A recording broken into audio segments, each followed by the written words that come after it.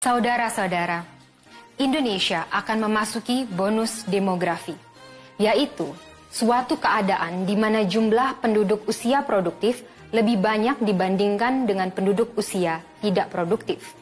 Itu sebabnya arah bangsa ini ke depan akan ditentukan oleh sepak terjang generasi muda. Kita generasi muda Indonesia harus benar-benar bisa memanfaatkan dengan baik keadaan ini termasuk dalam membangun demokrasi di negara kita tercinta. Gagasan dan suara kita hanya akan bernilai jika kita wujudkan dalam suatu kerja nyata. Kami paham bahwa ada jarak yang cukup lebar antara generasi muda dengan demokrasi yang tengah berjalan.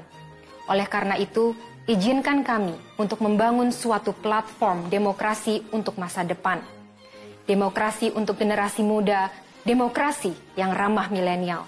Konvensi rakyat adalah sebuah upaya nyata dari Partai Perindo untuk memulai demokrasi berbasis digital atau yang kami sebut dengan e-democracy. Melalui konvensi rakyat, suara kita akan didengar dan berpengaruh.